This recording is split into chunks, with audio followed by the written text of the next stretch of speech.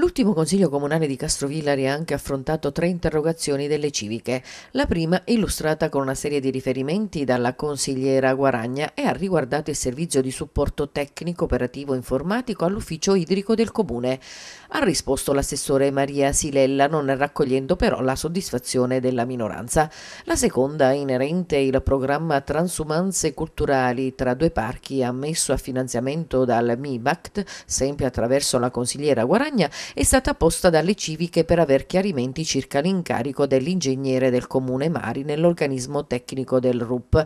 Il sindaco rispondendo ha precisato che tale figura di supporto dell'ente viene offerta senza alcuna spesa, fermo restando che l'apporto è previsto anche nella convenzione che articola lo strumento. La risposta però è stata ritenuta insoddisfacente dalla stessa esponente. La terza presentata dal consigliere Ferdinando Laghi per avere informazioni certe sulla chiusura chiusura del canile sanitario di Castrovillari. All'articolo 2, sempre di questo decreto, eh, i canili eh, sanitari per la provincia di Cosenza si dice devono essere ubicati in zone baricentriche al territorio della provincia che dovranno servire, dovranno essere facilmente raggiungibili con la viabilità ordinaria.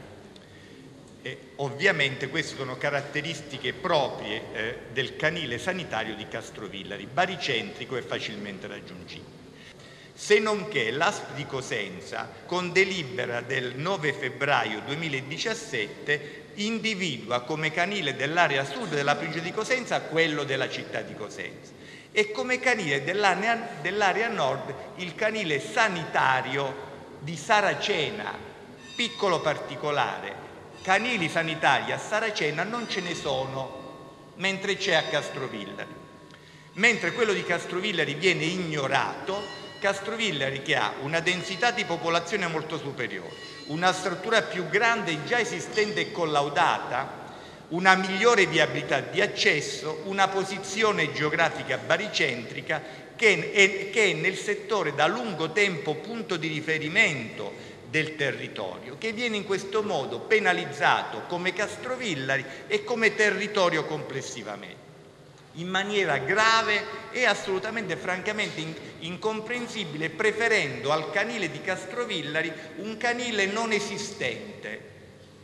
Ma non solo questo, il direttore generale dell'ASP nel mese di luglio ha inviato una nota ai comuni dell'ASP in cui si comunica la chiusura di alcuni canili sanitari,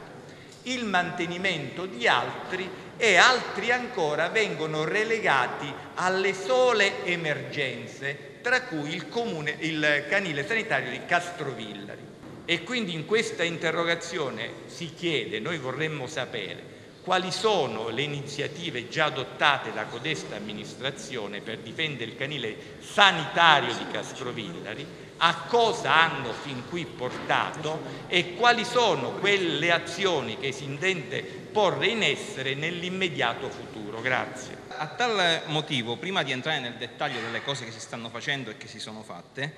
mi preme sottolineare che